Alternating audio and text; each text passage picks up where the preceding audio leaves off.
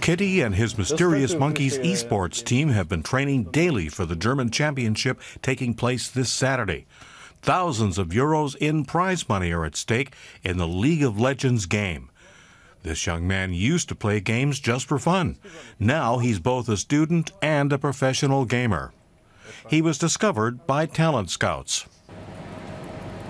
It starts from playing a lot with friends into just also having fun with random people you meet on the internet, and now it turns out to um, like it turned out to be also a way of making some money on the side. Right. Sponsors are paying all team members a monthly stipend of 1,800 euros.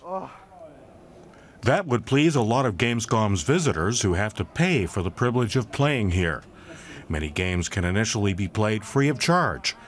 But for things to get really interesting, you often have to pay for extras. It's not just fun and games anymore, it's a serious business. The professional esports industry is one of the high flyers at this year's Gamescom.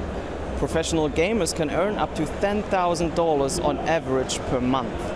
The revenue of pro gaming has been growing by 40% over the last year and is not expected to slow down in the near future.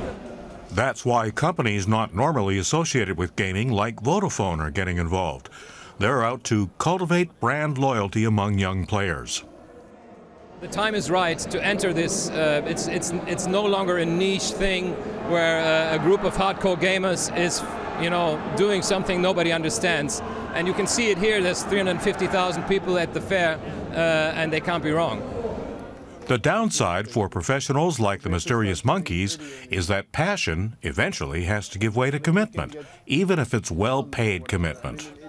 Usually it's for fun, so there are also like enough days where you're like, ah, I'm, uh, I'm not in the mood to play League of Legends, so I'm just going to play another game. And um, in comparison to that from uh, to now, it's like now you kind of have to play enough and also daily because you want to like improve and like at least keep up your skill level. All right. let's, let's and there's not much time left for them to do that. In this business, anyone over the age of 25 is considered over the hill. Yeah, but